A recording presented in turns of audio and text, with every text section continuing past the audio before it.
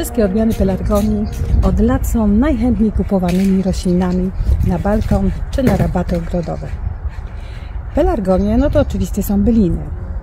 I choć są to rośliny wieloletnie, wiele osób spisuje je na straty już po upływie jednego sezonu. Ciepłolubne pelargonie nie poradzą sobie z polskimi przymrozkami. Dlatego też jedyną deską ratunku będzie przezimowanie ich w domowym zaciszu. Pelargonie angielskie mogą być długowieczne, tak jak powiedziałam. Tym bardziej, że dobrze zimują one w domowych warunkach. Na zimę trzeba zapewnić im tylko jasne oraz najlepiej chłodne miejsce w domu, garażu czy na strychu. Optymalna temperatura to 10 do 12 stopni. Choć jako były rośliny domowe radzą sobie także w wyższych temperaturach. Należy pamiętać, że nie każda pelargonia przetrwa zimowy odpoczynek w domu lub w mieszkaniu.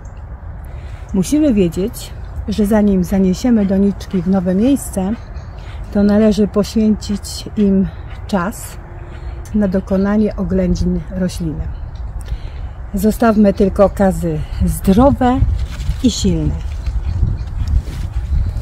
Pamiętajmy również, że pelargonie zaatakowane przez szkodniki czy choroby powinny zostać natychmiast usunięte od zdrowych. Najlepiej zimować, tak jak mówiłam, silne i zdrowe rośliny, gdyż wtedy mamy większe prawdopodobieństwo, że pelargonia powtórnie za rok zakwitnie, a sadzonki z niej wyhodowane będą równie silne i zdrowe. Jeżeli zrobimy to poprawnie, rośliny tylko zakwitną ponownie w przyszłym roku, ale i będziemy mogli wyhodować z nich nowe sadzonki. A kiedy za to się najlepiej zabrać? Pierwsze niewielkie przymrozki nie są groźne dla peralgonii. Chociaż, jak widać u mnie, zobaczcie, zobaczcie tutaj,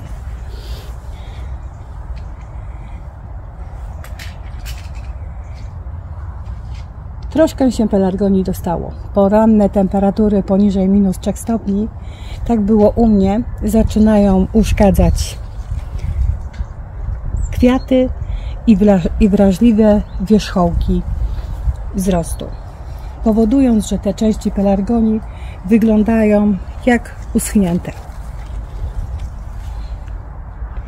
W ciągu dnia objawy przemarznięcia ustępują, chociaż jak widać nie do końca, bo tylko w niektórych miejscach.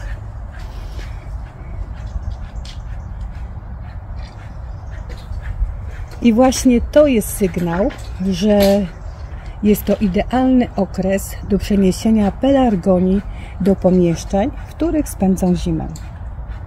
Moment ten przeważnie wypada na przełomie października i listopada. No tak jak właśnie mamy teraz. Rośliny kwitnące na rabacie. Delikatnie wykopujemy. Ja tu właśnie już wykopałam całą bryłą korzeniową. Najlepiej tak za bardzo nie otrząsać, zostawić troszkę e, ziemi.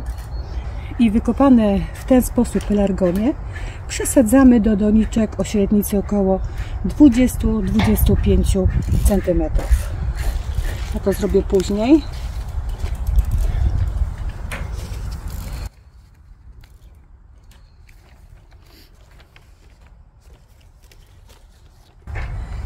Na dno doniczki wsypujemy warstwę drenażową i zasypujemy świeżą ziemią. E, może być również duża skrzynka z drenażem na dnie. To zależy ile będziemy mieć miejsca na przechowywanie roślin. Również usuwamy, to za chwilę właściwie powiem, pelargonie, które rosły całe lato w pojemniku na balkonie czy tarasie, tak jak moje, po prostu przenoszę do pomieszczenia wraz z doniczką. Pamiętajmy, już mówiłam o tym wcześniej, aby każdą roślinę przyciąć i usuwamy suche liście oraz przekwitłe kwiatostany. W tym celu należy ostrym sekatorem czy nożem przyciąć pędy pod węzłem, tak aby miały około 10 do 12 cm długości. Usuwamy wszystkie zżółknięte liście pozostałe na roślinie po przycięciu. Jeśli na pelargonii zostanie, zostaną na przykład zaledwie 2-3 liście, nie musimy, się, nie musimy się bać. Tak powinna wyglądać zimująca pelargonia.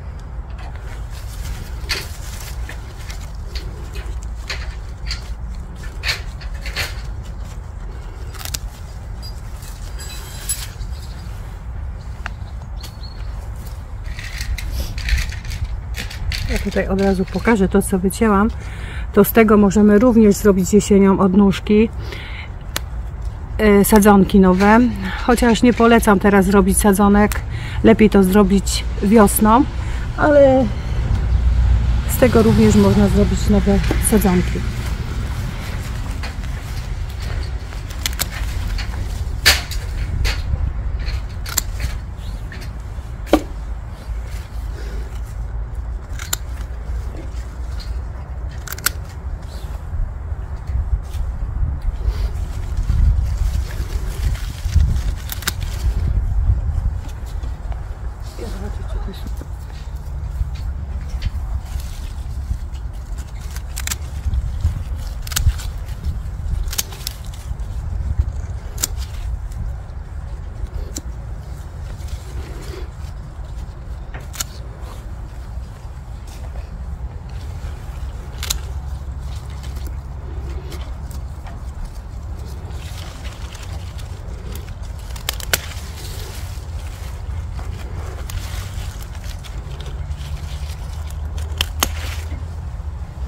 Rośliny zebrane z ogrodu, tarasu lub balkonu umieszczamy, tak jak wspomniałam wcześniej, chłodne i jasne pomieszczenie.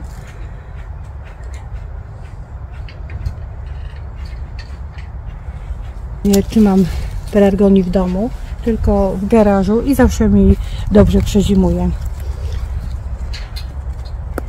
Należy tylko pamiętać, że ta roślina musi mieć dostęp do naturalnego światła. Całkowity brak słońca sprawi, że okazy staną się chorowite i słabe. Przez co nie doczekają po prostu wiosny. W czasie zimy rezygnujemy z nawożenia pelargonii. Nie nawozimy jej w ogóle. Nawożenie mogłoby doprowadzić do zbyt wczesnego wzrostu.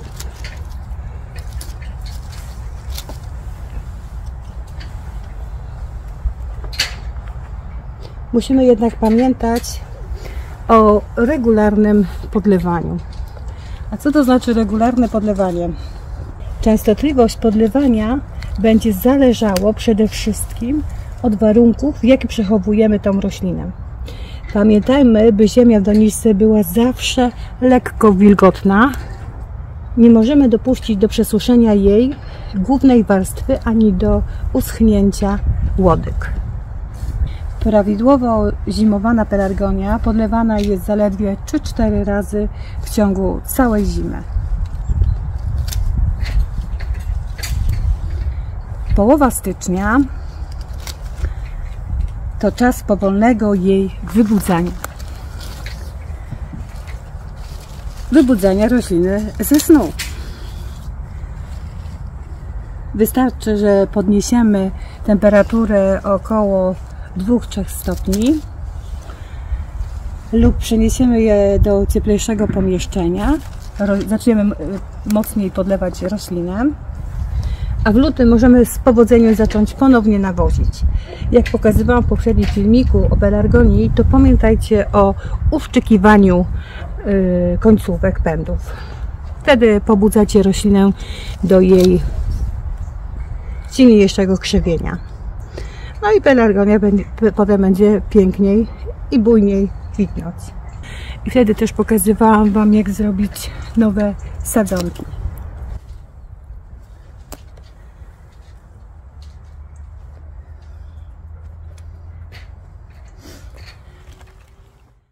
Pelargonię po zimie dopiero wynosimy po 15 maja, tak około po 15 maja, bo różnie to u nas bywa z temperaturą, ale około po 15 maja, po tak zwanej zimnej zośce.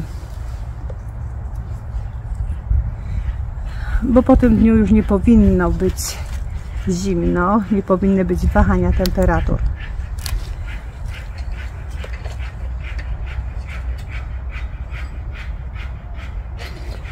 No i wtedy możemy, tak jak mówiłam wcześniej, przygotować sadzonki yy, z nowych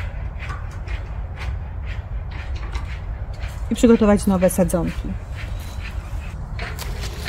Ja będę dalej kończyć przy tych moich pelargoniach.